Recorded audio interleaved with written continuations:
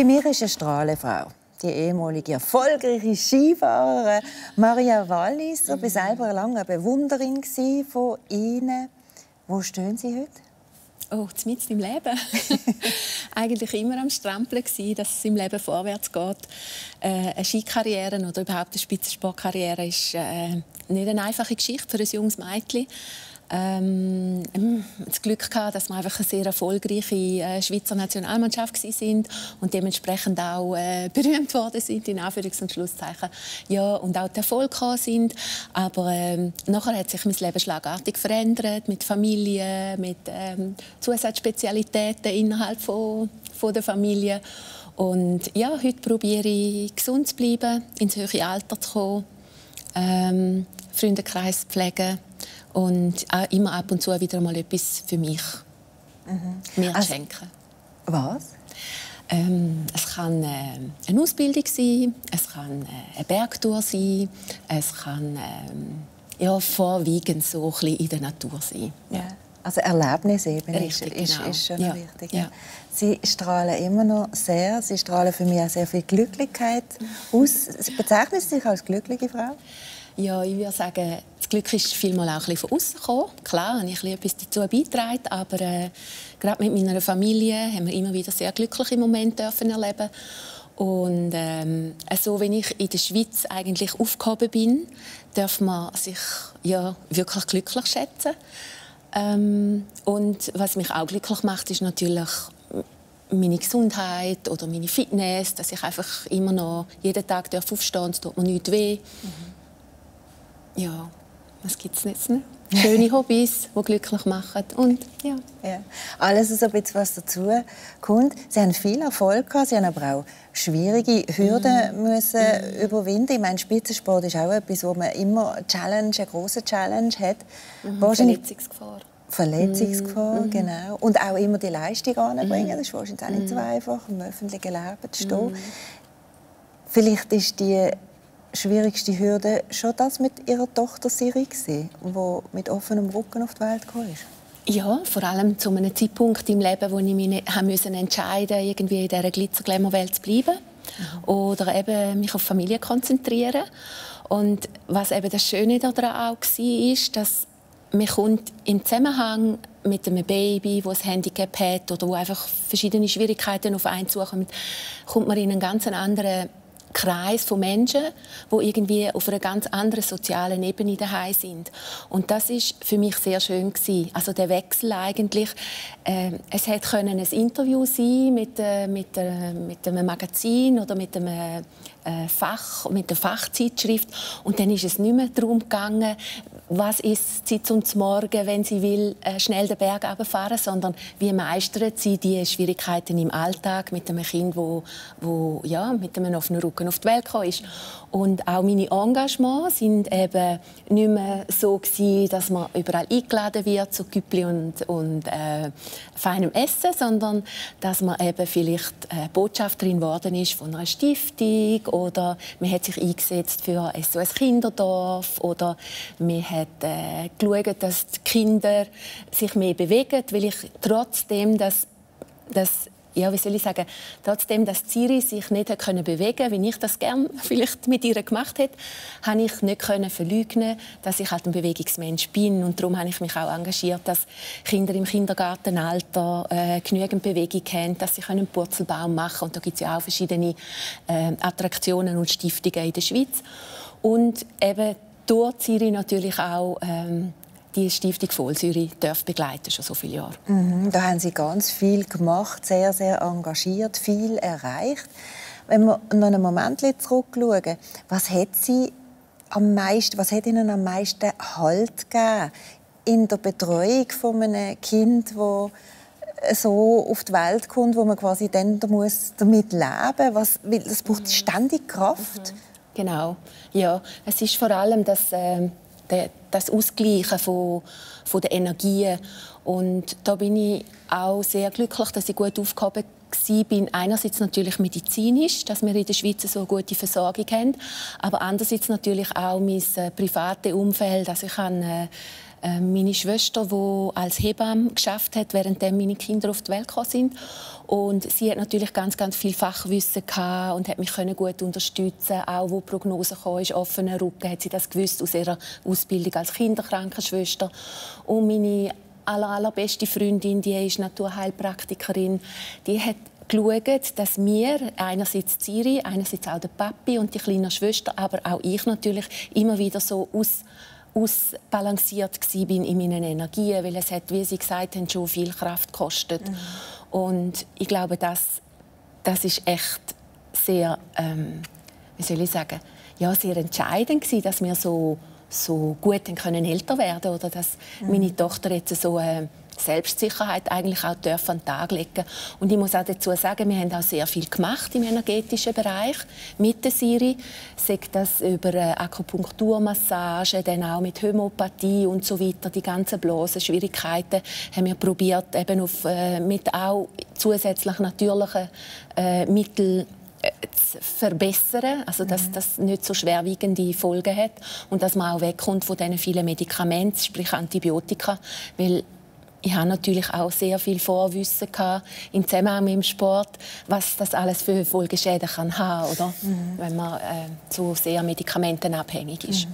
Sie engagieren sich jetzt, ja, indem Sie Folsäure noch bekannter machen und sagen, dass Frauen das sollen nehmen, vor sie schwanger mhm. sind, also mindestens drei Monate vorher, dann während der Schwangerschaft. Äh, helfen Sie auch diesen Frauen oder diesen Familien, die trotzdem noch die Situation erleben, dass sie ein Kind mhm. auf die mhm. Welt bringen mit einem offenen mhm. Rücken, den sie die auch unterstützen? Mhm. Also es ist äh, nach wie vor so, dass äh, sechs von zehn Frauen die Folsäure zwar nehmen, aber sie nehmen sie Sport. Und das ist sicher einmal der erste Fokus, den wir haben, auch auf unserer Homepage mit einem Film, dass man einfach weiß, dass man frühzeitig muss. Und da wir eine Stiftung sind, haben wir natürlich einen Stiftungszweck und für den bin wirklich ich zuständig, weil ich habe natürlich Kontakt in der ganzen Schweiz unter äh, Spina Bifida Vereinigung, dann natürlich alle die Behindertensportverbände und mein Ziel ist, dass ich jedes Jahr äh, mehrere tausend Franken kann verschenken und zwar an betroffene Familien, betroffene äh, Jugendliche. Ich kann schon schöne Lager dürfen organisieren, wirklich Jahr für Jahr und das ist immer ein kleines Fest, wenn dann die Kids im Rollstuhl zusammenkommen oder so junge Erwachsene und sie lernen äh, miteinander äh, einen Haushalt führen oder sie tun miteinander musizieren oder Theater spielen oder malen oder eben vor allem sich bewegen und Sport machen. Weil ich glaube, das ist eine, eine Grundvoraussetzung, auch wenn man in einem Rollstuhl ist, mhm. dass man sich einfach äh, fit fühlt mhm. für das Leben. Mhm. Macht man sich als Mutter auch Vorwürfe? Ja, ja, ich denke gerade aus dem Mädchen, wo ich rausgekommen bin, wo, wo sich wirklich äh, wegen dem Sport sehr gesund ernährt hat, ist die Frage natürlich schon gewesen, warum passiert mir das? Und es hat ja wirklich schon sehr früh Studien gegeben, dass Folsäure einen Zusammenhang hat mit einem offenen Rücken, und zwar schon nach dem Zweiten Weltkrieg in Rumänien, mhm. weil die weil die Frauen einfach gehungert haben, weil es keine Grundnahrungsmittel mehr hatten, weil das Mehl knapp war, wo eben der Weizenkeim drin war. Und darum hat man eigentlich nicht mehr gross umgestudiert, ja, jetzt ist es einfach das gewesen.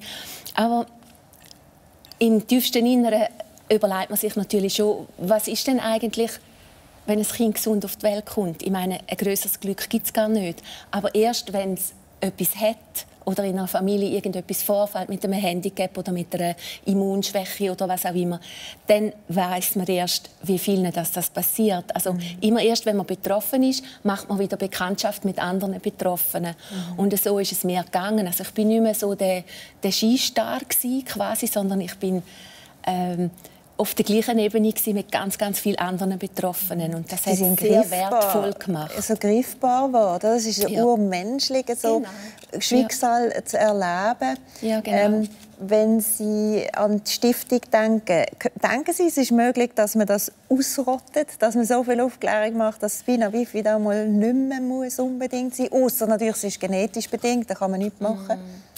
Ja, dadurch, dass wir natürlich nicht die staatliche Anreicherung haben, haben wir auch nicht unbedingt die Statistiken, wo zum Beispiel jetzt gerade Amerika frisch herausgegeben hat, dass sie wirklich fast 50 Prozent weniger Spina bifida hatten. Aber das heißt natürlich jetzt auf die Schweiz aber gerechnet, dass vielleicht nur noch vier im Jahr auf die Welt kommen, sondern nicht mehr, oder nicht mehr acht bis zwölf oder so, je nachdem. Was mich halt ein bisschen mehr irritiert ist, dass die vielen vorgeburtlichen Untersuchungen natürlich an den Tag bringen, relativ früh, mhm.